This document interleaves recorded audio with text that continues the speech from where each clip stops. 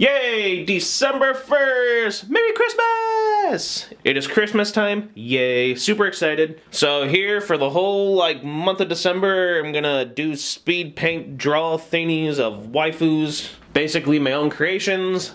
And a few like fan arts down the road. But for now, you know, I figured the advent calendar should do it for art. Well, for this Christmas, a waifu advent calendar for all the love and support for 2D anime waifus that are just the greatest. So, um, here we go. Day one. My own little creation, Akarui. She's a tough little kitty girl and, uh, well, you'll see, you know, how cats are when it comes to Christmas and Christmas trees. Uh, just, uh, let, let, let's watch, shall we?